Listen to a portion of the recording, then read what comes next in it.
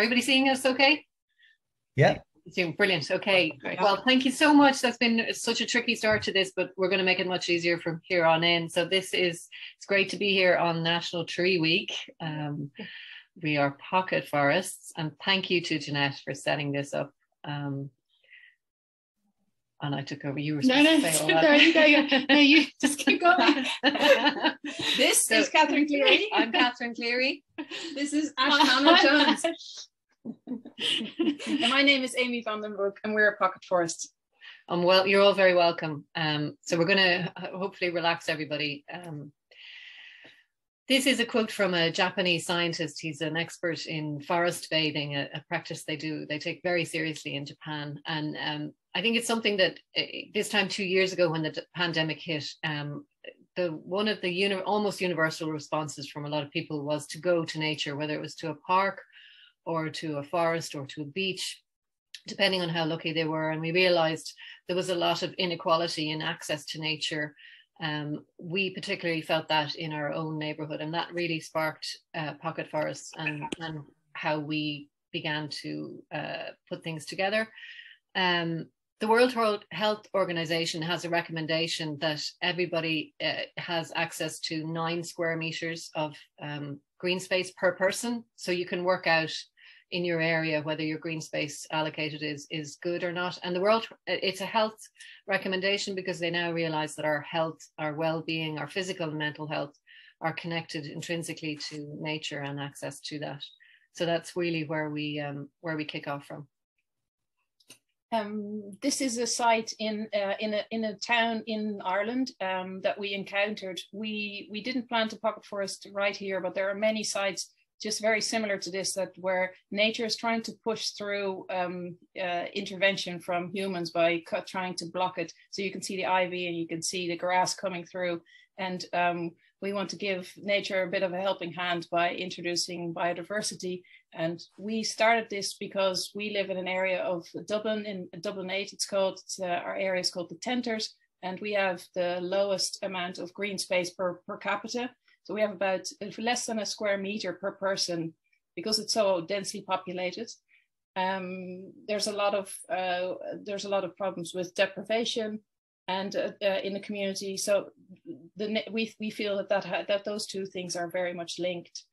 So uh, we feel that pocket forest might be able to, uh, this, this kind of sparked for us the, the, um, the reason why we started pocket forest.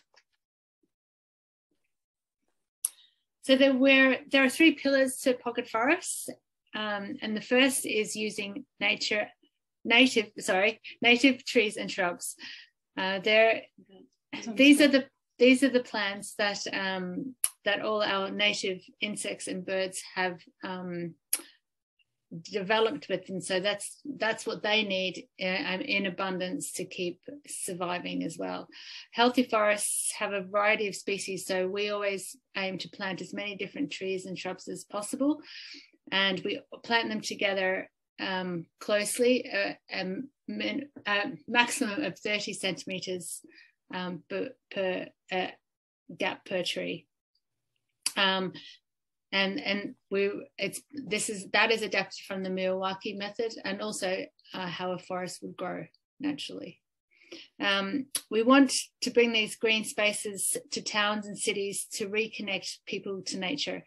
Trees and forest habitats clean the air we breathe and can help reduce flooding and produce cool sanctuaries for animals and people. And thirdly, the community investment is central to what we do.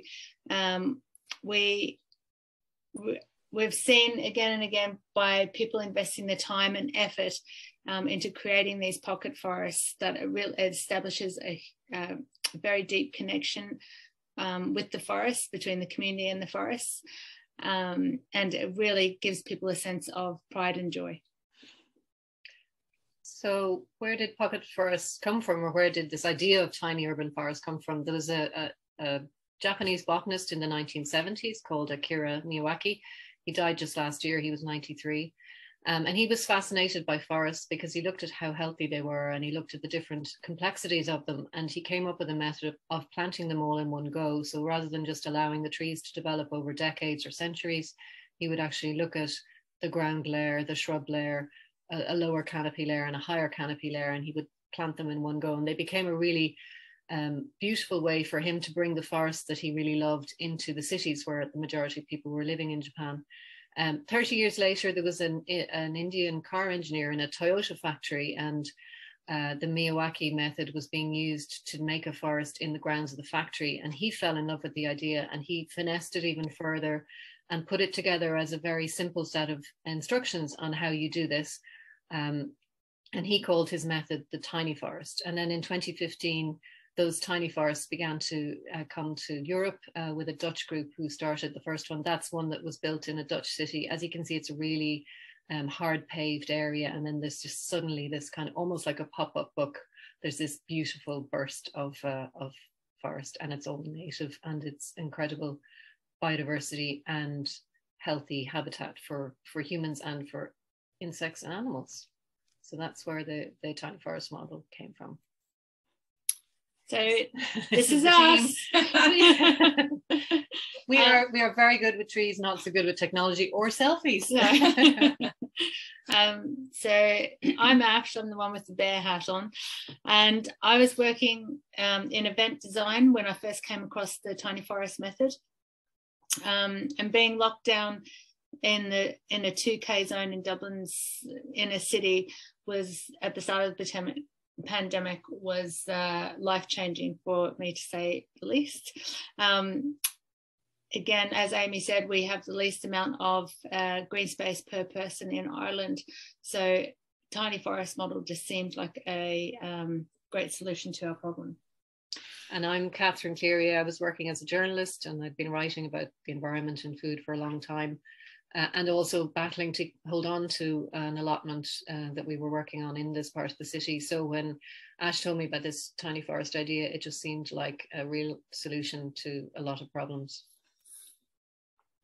Hi, my name is Amy, and I am. Uh, these are these are the two founders of Pocket Forest, and I came on board this year. Uh, I worked in a, a, social enterprise in Dublin, and um, I, am from a food background, so organic food, and uh, when Ash and Catherine needed an extra uh, hand, I helped. I stepped stepped in, and it was great. Uh, it's a great opportunity, and it's made me already so much happier.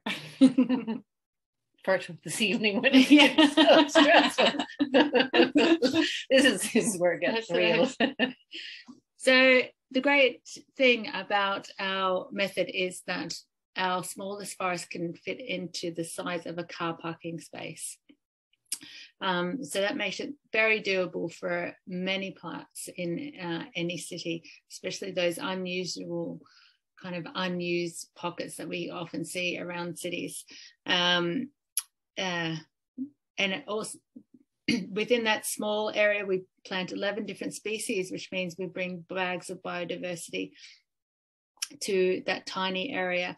Um, and within in just two planting seasons, we've planted more than 40 sites around Ireland, ranging in size from the smallest. There's our oh, there's sorry. our there's our location map. Um, so it's hard to see because most of the pocket forests are in or around Dublin, but we have around 40 uh, locations. Um, we have some in uh, a lot of them in schools or in uh, community center grants of community centers. Um, tiny towns. We worked with the GAA and we have to, we got access to some of the GAA grounds. They got a pocket forest. So it's been uh, um, it's very varied, but we try, as Catherine said, we work with community organizations. So it is a, a, a uh, it's broad. There are different um, groups. It can be children, it can be uh, men sheds, it can be elderly. It's a, we've had everyone um, help create pocket forests so far.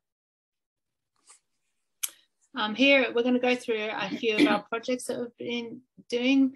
Um, we were lucky enough to work with four fire stations in County Kildare, and this is really great uh, example of um, just the unusual places where we can plant um, our pocket forests. This was a really unused space in front of the fire station. Um, and that had been cleared, it had um, it had a weed barrier we had to break through, and um, and now we've we've um, created this the little pocket of biodiversity within a kind of dead space. And I have to mention, I also got to water this fire, water with a fire hose. I meant to put that picture in. We have a great picture of that. Um, I'll send it on to Jeanette with the fire hose. Um, it is a brilliant way to water the ground. Um, it's a huge thrill to get a go of hose. Um, as Amy was saying, we also worked with the GAA with several clubs around the country. And this is this this picture always makes me smile a bit because it, it, we spent a good hour and a half preparing the ground here in what looks like the middle of a field. Um, but actually, just to the right of that picture is, is quite a mature hedgerow. So it was kind of a little continuation of that hedgerow. Um, and into that space, uh, although we describe it as being like a car park space, we never make it look, we never make it uh, rectangle. It, we actually like to make them leaf shaped. So these six square meter forests have been leaf shaped in this project. Um, and it's been a wonderful way to talk to people uh, in rural Ireland about. We've been really impressed with what the GAA is doing with areas around their pitches where they're taking out Leylandii hedges and replacing them with native hedgerows. They're uh, seeding wildflowers around the edges. So there's great work happening, and it's a brilliant way for us to see that when we go around the country. Um, here we were working with St Francis Hospice in Blanchardstown. This is a really special project for us because um, it really highlighted um, what we're trying um, to communicate the healing power of planting trees and um, being able to nurture those. Um, we were asked to actually place this forest near the area where the bereaved families come, and so it would be um, easily visible and accessible to them. So it was really it's really lovely to know that this little forest is going to be helping some people heal. Uh, and then this is Holly Park School in Blackrock, where we had a very enthusiastic bunch of young boys who uh, got to really love worms. uh, it was really eye opening to how um, how quickly these kids um, just fall in love with the earth and all the joys that it brings digging around in it. Sorry. Um, and then this was a, a, quite a different school compared to the Blackrock School, where they already had quite a lot of even mature trees and and for almost foresty areas. This is our most local secondary school, and on first glance, when you go in, it's just tarmac and gravelled areas. There's hardly any space. But we this is actually our second forest in this school. Um, you'll see our first one later on in the slides, and it it really does show how that model can fit into these spaces that people don't really see as having any use other than as you can see, there's a lot of weed barrier there, just a, a, space that nobody really wants to maintain. So once the trees are in there, there's very little work to do with them, but you, you get a massive increase in connections. Um, this is a school where a lot of the girls who live there don't have any green space and have never done any gardening. So they got such a huge kick and they got such pride out of making that space.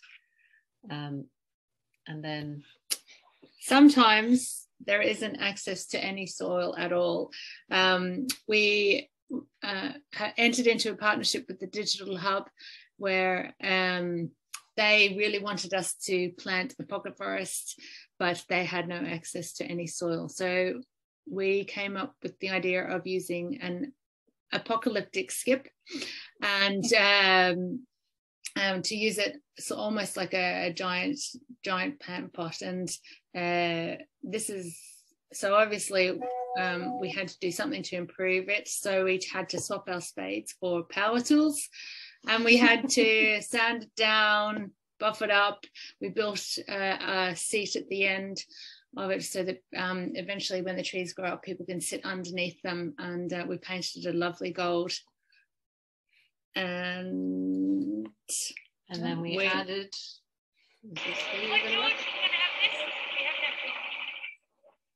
so what we were trying to do was recreate and it's what we tried to do in, in soil as well is recreate the conditions of a forest floor. So in the bottom of the skip we have logs and wood chip. and as amy is saying we have yummy wormies coming in um, then there's a mixture of soil and compost gone in there. So it's it, it actually turned into an amazing um, habitat for the plants. That, oh yeah, so this is what it looks like.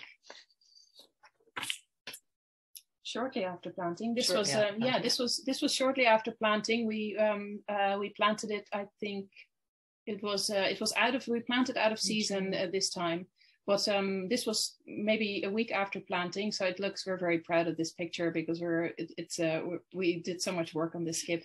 Anyway, it's ten different species of native trees and shrubs. Um, added some ferns in and some ground cover plants, and we mulched it with wood chip.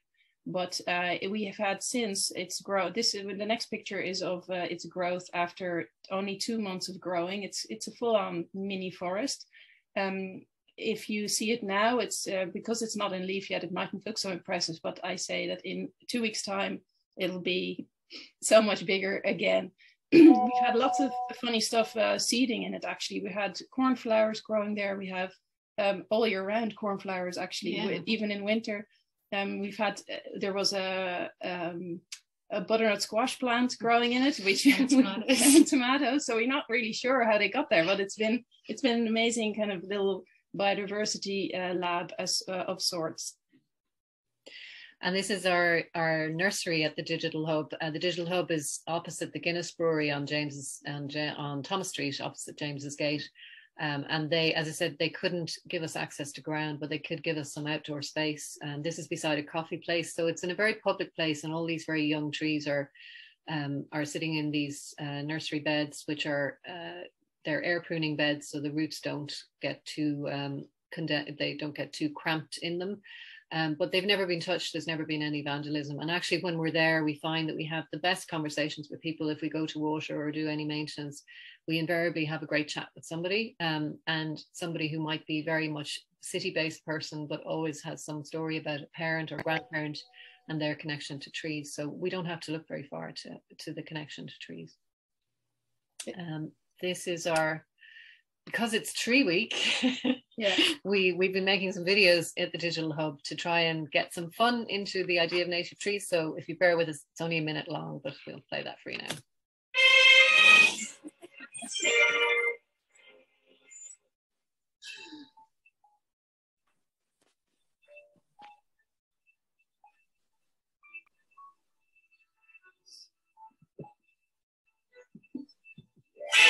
It's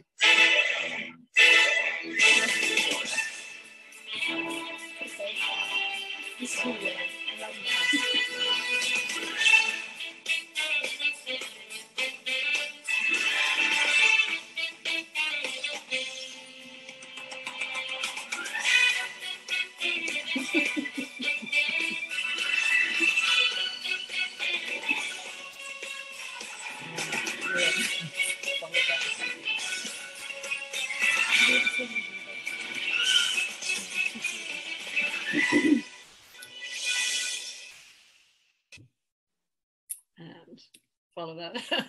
very, very. I know you're all very excited. I know everyone's sold on the idea.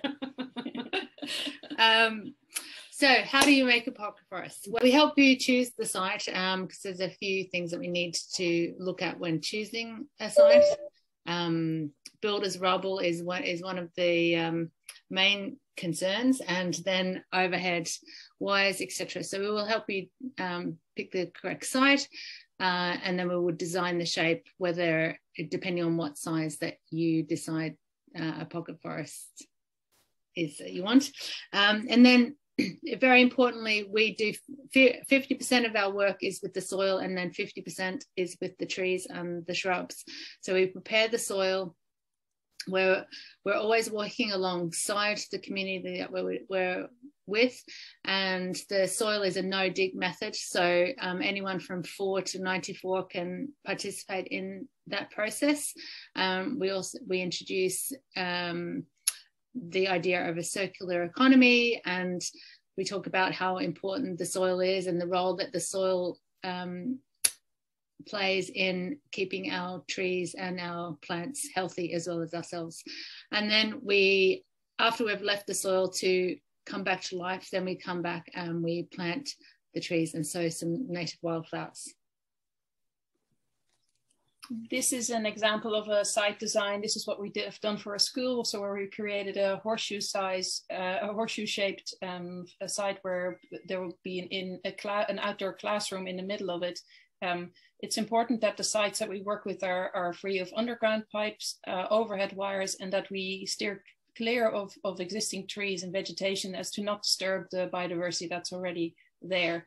Um, we also are uh, cautious of, of the fact that there's lots of underground kind of builders rubble under grass. It might look like a, uh, a, a fine site, but once you stick a, a, spade in it, it won't go in because it's covered in, in rubble and uh, hardcore underneath.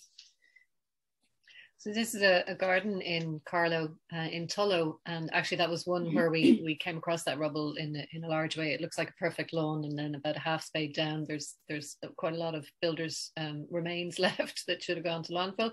Um, but you can see what happens. That's just one growing season with wildflowers, um, trees and shrubs, and they would have gone in. Some of them at half the size they grow to in the first season because once we give the soil the treatment that we give it and then let it rest, the roots are very happy there and they grow extremely well and extremely quickly. Uh, so it's a nice uh, tree plant from a tree planting point of view. Uh, people see results very quickly, which can be very satisfying.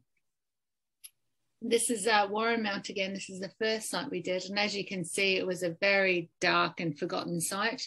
Um, it was smack bang in the pandemic, so we were we weren't able to be with the students, um, but they worked very hard to clear all that rubble and pebbles and stuff that you can see in that before photo. Um, and then we um, then we prepared the soil and, and planted while doing online uh, presentation with the students. And you can see the difference in, size, in the size. Sorry, go on. Um, so when we say soil preparation, um, effectively what we're trying to do is recreate uh, or, or create as much as we can um, a forest floor for the young trees, because obviously that's the place where young trees are going to grow the best. Um, so we're adding in things like woody material because that's what a forest does. If a branch falls, nobody picks it up and it becomes part of the forest system.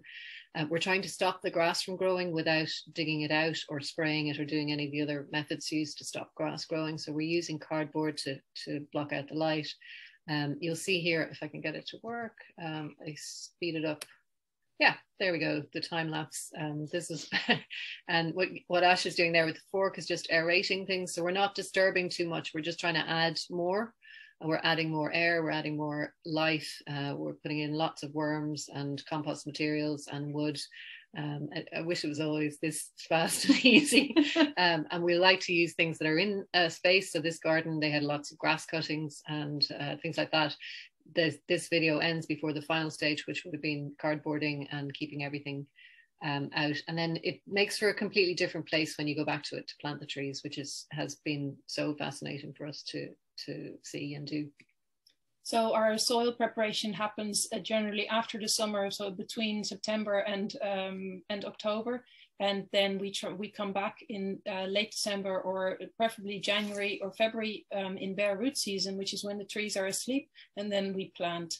Um, and then we let the trees uh, uh, settle in. It's best to transport trees when and, and move them, transplant them when they're asleep, so you don't uh, unnecessarily stress them um, and it won't fail. So um, we only use uh, Irish native trees and we aim to use only Irish grown trees. And with uh, our nursery spaces, we um, are trying to also grow from seed ourselves, which we're only new, uh, in uh, two years. So it's not, we haven't grown that many trees ourselves, but that's our aim in our long term planning. Um, the trees are chosen to that they can be pruned. If you want to keep your forest kind of not too tall, then you can uh, they can be pruned um, in the first number of years uh, after planting. So we can kind of force them to stay a little bit smaller than than normal. And that's detailed in where did our planting guide go? Hmm. I think you have to unclick that first. Oh, how do I the red button. Can you go there? Oh, yeah, there we go. I'm not oh. doing that. Oh, oh, we hit another we have another stumbling block. Another stumbling okay. block. Okay, well, we'll just keep going because yeah. So we have a planting guide, um, which we give to people, a booklet and a poster. Um, you might be able to see it behind Amy's head there, which gives all the, it's a local artist, Ina Farrell, who does wonderful drawings. And she's actually drawn the trees at a very young stage with their root balls, which we don't normally see when we, when we see pictures of trees. Um, and we have all the information there. If you need to, the, the species for that smallest footprint are chosen specifically to be suitable for pruning so they can be kept to a, a smaller size. Uh, or if there's more space, the trees and, and, shrubs can be allowed to do their thing and grow uh, as fast as they can. So this ends with a um, just a little thank you to you. That I think they were that was nearly our second last slide. Yep. Thanks to Jeanette for setting it up, and we'll send on contact details to Jeanette, and we can take questions. But I think we might have to start another Zoom meeting to do that because um, I'm on a. We have eight minutes. We've left. got eight minutes. Eight minutes for questions. Does anybody have a question? Okay, I have a quick question. Yeah. Girls, I suppose, look, and I suppose we're conscious it's National Tree Week as well. And this year, like saying Carlow County Council, we give out 500 native Irish saplings. And do you think like that the biggest problem in terms of planting the saplings is the ground preparation that people are inclined to plant them and hope they grow? Like, or, or are there any shortcuts even in terms of, of getting your, your soil right when you want to plant the likes of the root saplings? I think um, it, part of me says there's no bad way to plant a tree because we need to plant so many more trees. But at the same time, a sapling planted on its own without any other trees around it is it's not what a natural forest would do. No, there's no oh. there's no such thing as a lone tree in nature. So if you do get saplings, I, I mean the, the diversity of those saplings is interesting as well because if you've got way more diversity, those trees are going to cooperate with each other much more um, yeah, and be much more healthy and provide much more habitat for many more species as well. So, yeah, soil preparation is is a large part of it because often, and and putting the tree or trees in in a place where they're going to become part. I suppose just planting a tree and then walking away from it. It's, I mean, it's, I love planting a tree. I love planting trees. But I think if you're investing time into trying to figure out what it is that a forest does, as opposed to just a lone tree, and then mm. that opens up, I mean, what this presentation is all about how we make pocket forests, but actually what we're discovering from feedback people we worked with is that pocket forest makes all kinds of other things happen in the community as well. So people start to think about composting and they start to think about maybe um, applying some of the same principles in their own garden where they maybe they don't have an area of lawn that they're going to mow all the time, that they can actually just card sheet, sheet cardboard it and start to grow vegetables or start to have, you know, a little uh, fruit forest or something like that. So, mm. um, yeah, I, I love tree planting. I love National Tree Week. I love people talking about trees, but I think we can do way more with it. And that's what we love to do as Pocket Forests because it, it opens up all kinds of solutions to uh, the problems that we're facing in, in terms yeah. of uh, you know biodiversity loss in terms of what we do with our food waste how we connect with each other, how we reconnect with nature, how we bring nature into towns and cities where most people live now, knowing that a lot of what we have to do with forests and planting are going to be huge scale and they're going to be, you know, oh. they're necessarily going to be large forests. Um, but those are in remote areas that most people don't see. So that's what, again, what we love about this project that we bring that to your neighborhood and your doorstep. So yeah, brilliant. Plant a tree, but better still plant a forest. Brilliant. Yeah, no, no, absolutely. You're, you're singing, I think, most people's language here. I think Justin has his hand up there. Yeah, uh, hi Catherine and the rest of the gang there. That was brilliant. Uh, a quick question for you. If the community wanted to get you guys in to help start off the Pocket Forest, is there much of a waiting list there?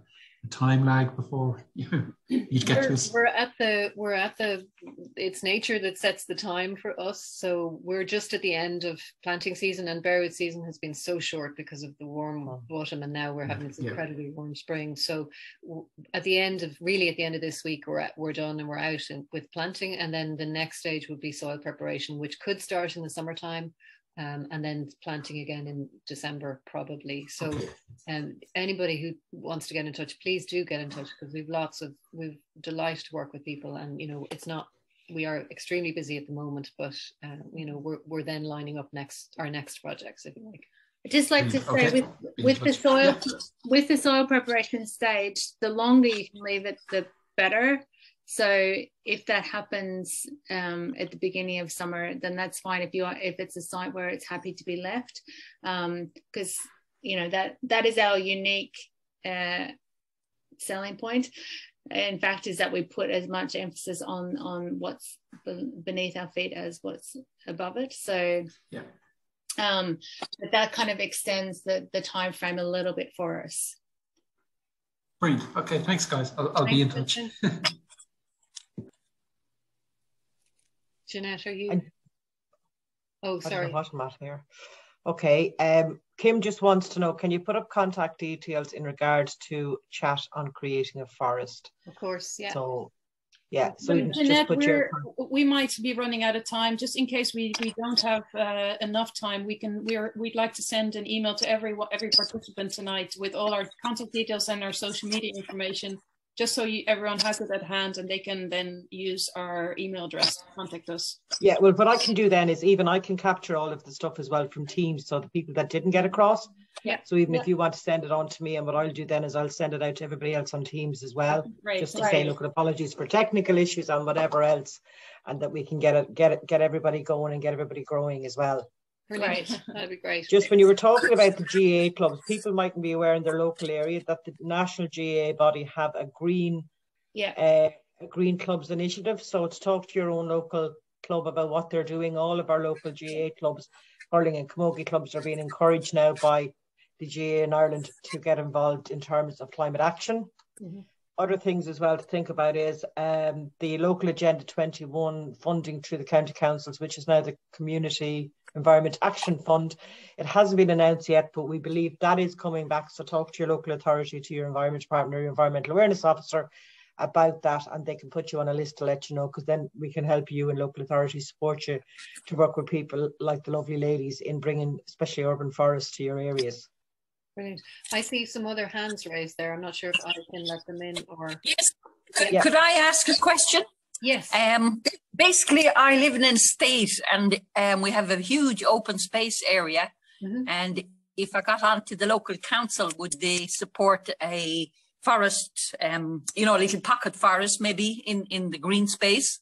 Yeah, we've worked with one uh, similar open space in a, an estate in Swords where we put in two separate 50 square meter forests and it's worked really well. We just visited it yesterday to see it growing in its first season because it was one of our earliest plantings. We planted it back at the end of November and it's it's really taken off and every every tree is doing really well. So that they're perfect spaces and I think it's a, a wonderful community amenity then that you can create in that space.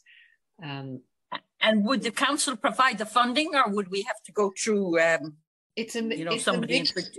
We found it's a mix. So we have some funding from organisations like ChangeX, um, and we have some funding from the Woodland Support Fund from the Department of Agriculture. But we're delighted to work with with local authorities as well if they have funding. Um, we can we can every every um, project that we work on comes with a different mm. funding model typically. Yes, and does it require much maintenance? You know, if the council weren't prepared to maintain it, could um, bit, you know, would you have? There's a little. Would you have to take it on board yourself as a resident of the estate to look after it, or would the council take it over, or what? It, what would be the long term for the maintenance? Yeah again it can be worked out. I think it's very nice for somebody to become a forest keeper or for a group of people to become a forest keeper. And then it's a little bit of litter picking if there's something growing on the ground that you don't will like the look of to put some more cardboard and mulch on top of that. Um, a lot of them will you know there's buttercups and docks and things will come in which we'd be very happy to see. But if you're not there are ways of dealing with that. So again it can be worked out on a case by case basis. But the ideal model is that, that there's a forest keeper who looks after it